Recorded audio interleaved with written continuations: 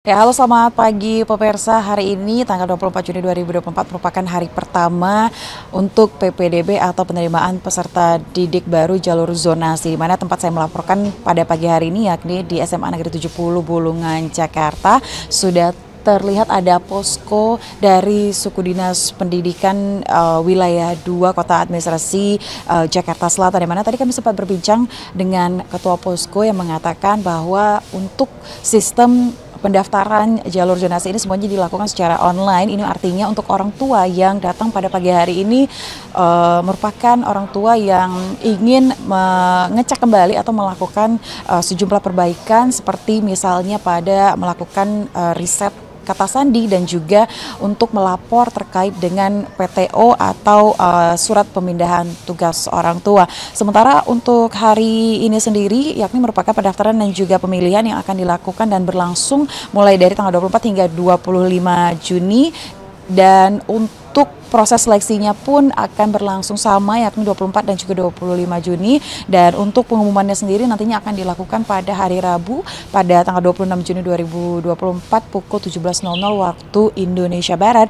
Dan untuk sejumlah uh, siswa nantinya yang berhasil terpilih dan uh, diwajibkan untuk melakukan uh, lapor diri yang akan diselenggarakan pada tanggal 28 Juni 2024 dari pukul hingga pukul 2 sore waktu Indonesia Barat. Sementara pada proses tahapan sebelumnya ini sudah dilakukan uh, tahap prestasi dan juga tahap afirmasi dan hari ini akan berlangsung untuk tahap zonasi. Sementara demikian dari Jakarta saya Ayanufus, Seto iNews melaporkan.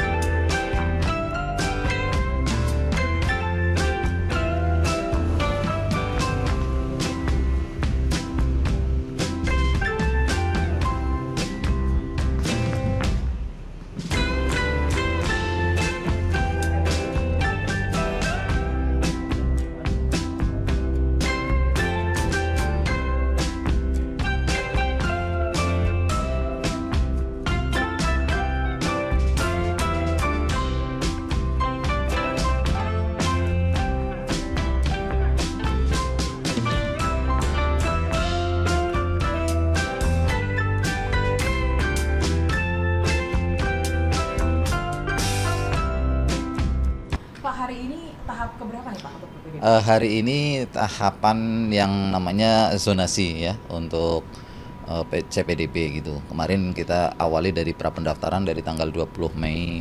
Alhamdulillah semuanya berjalan lancar.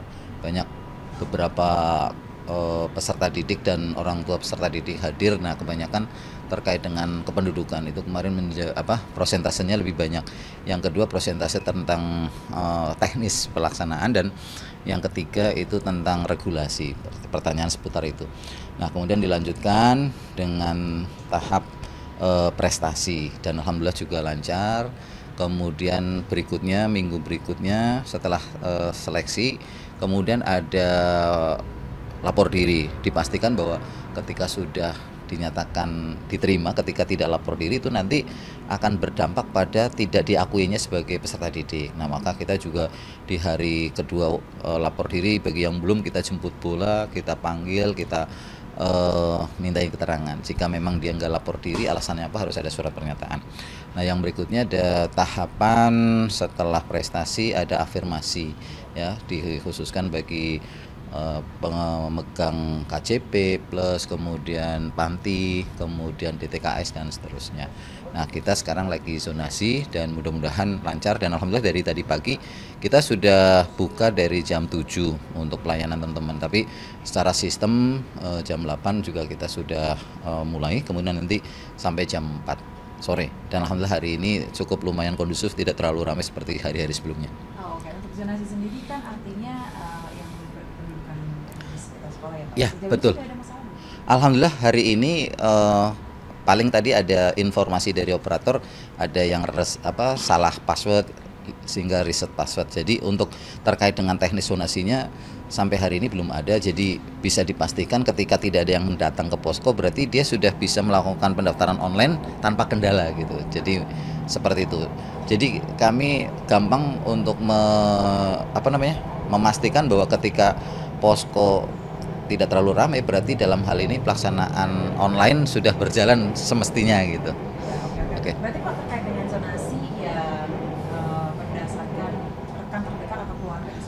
Uh, jadi kalau zonasi itu kan untuk SMA maupun SMP ada tiga zona ya. Satu prioritas pertama itu yang satu RT dengan sekolah. Misalnya katakanlah ini RT-nya RT 1 di sekolah A, maka eh, CPDB di RT 1 itu menjadi karpet merah. Nah, ketika RT 1 belum atau CPDB-nya kurang dari kota, maka dia akan ke eh, zonasi prioritas 2 di RT-RT yang bersinggungan kanan kiri depan belakang.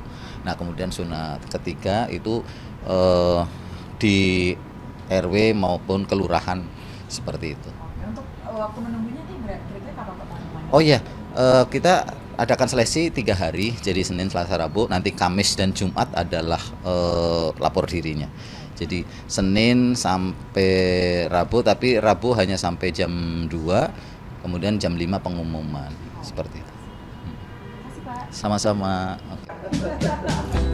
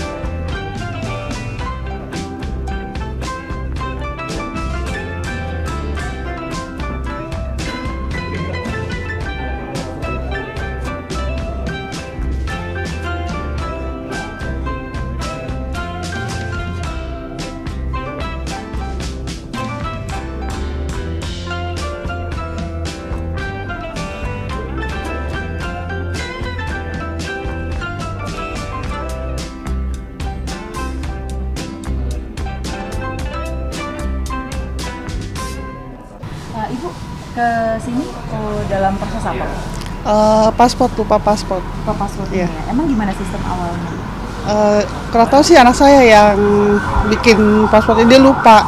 Oh, lupa. Iya. Tapi untuk sistem online sendiri mudah nggak? Eh, mudah sih, cuman kalau kalau saya di apa dibimbing masih bisa. Cuma kalau untuk sendiri saya masih bingung gitu.